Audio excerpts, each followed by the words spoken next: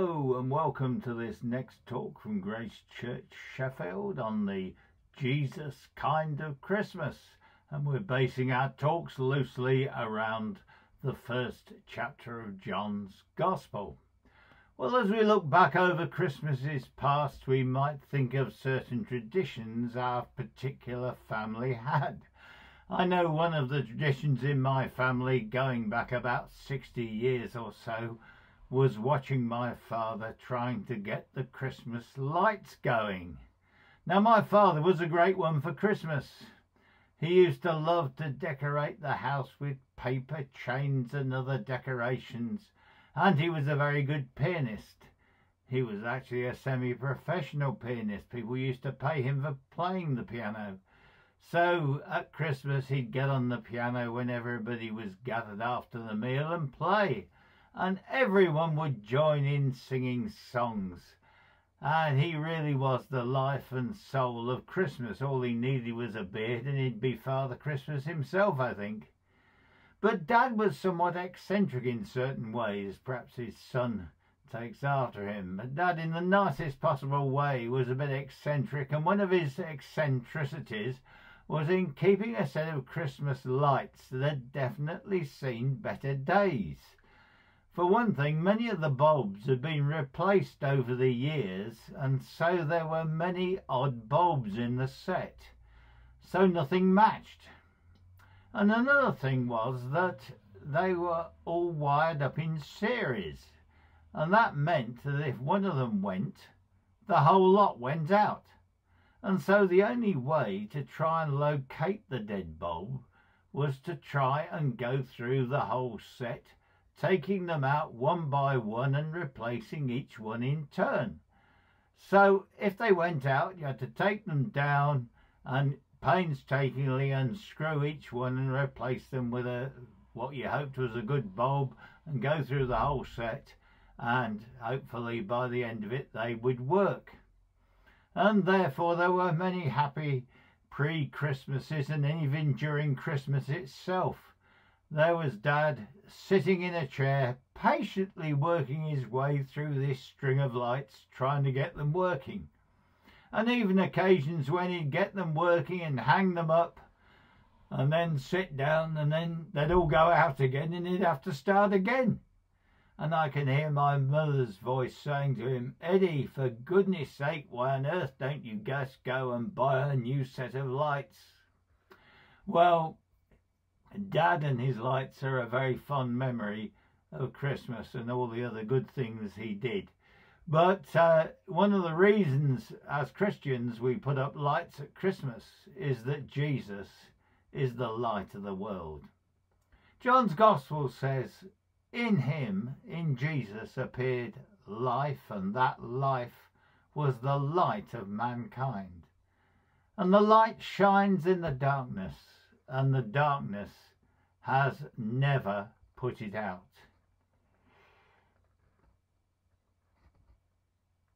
Now, you know, light is precious. Darkness can be al alarming and frightening. If you've ever been in a power cut like we used to have when I was young, and we don't get them nearly so often now, but there used to be a power cut and the lights used to suddenly go out then there's a tremendous sense of darkness and disorder as people suddenly have to scramble to find a light. then perhaps someone would find a match, or in those days, a cigarette lighter, and there would be a light and people could see what they were doing, and then perhaps someone would find a candle and light it. And you used to have candles handy in those days, because even a small amount of light was a relief. And if you've ever been down a coal mine or a deep cavern where there is absolute pitch darkness, then you know the relief that even a small amount of light can bring. I remember being in a cave where the guide told us he was going to turn the light out so we could experience total darkness.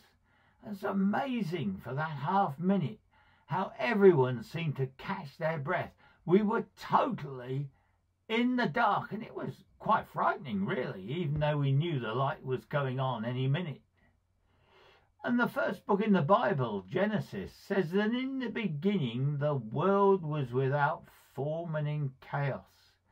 and darkness was on the face of the deep. And then God said, Let there be light, and there was light. There was complete chaos.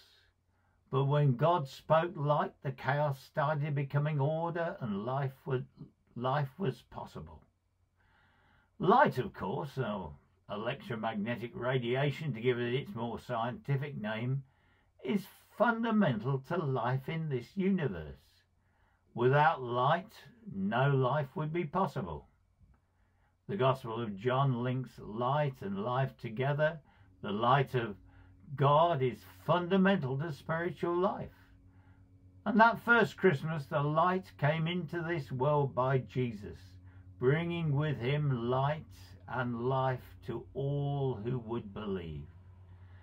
Light is also fundamental to us finding our way in what is a very dark world. The world can appear to us to be full of chaos. Where is the light so we can find our way? But talking about the coming Messiah hundreds of years before the event, the book of the prophet Isaiah tells us the people that walked in darkness have seen a great light, and they that dwell in the land of the shadow of death, on them the light shines. Even to the darkest places of the world, the light of God was coming through Jesus that first Christmas. And when we look at the ministry of Jesus, we see him shedding his light upon the poor, upon the outcasts, and upon those who, frankly, many respectable people didn't want anything to do with. We see the light of Jesus utterly transforming lives by healing people, casting out evil spirits, and forgiving sins. But of course, whenever there was light, there are always people trying to put it out. John tells us that the darkness is always trying to put out the light.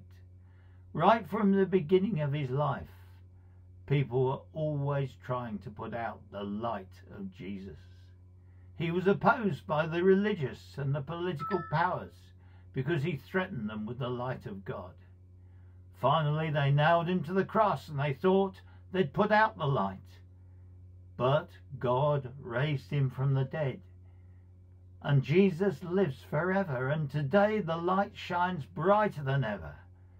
You know, today more people are transformed by the light of Christ than ever there were. The powers of secularism, communism, various types of religious powers are trying to put out the light of Christ, of Jesus. But all over the world, that light is shining in dark places, transforming lives. You know, one thing I knew when I had accepted Jesus into my life, that a light had come on. Everything made sense in a new way. Oh, there was a host of things I didn't know then that I know now about the Christian faith, but a light had come on and I began to see. I guess I was the blind man who Jesus healed. And that blind man in John's Gospel, Jesus healed him, and they said, well, What's he done? How did he do it? And whatever. And he said, Well, there's a lot of things I don't know, but I know this one thing. Once I was blind, but now I see. Jesus had healed him and he had seen the light. And may the light of Jesus shine in all our hearts this Christmas.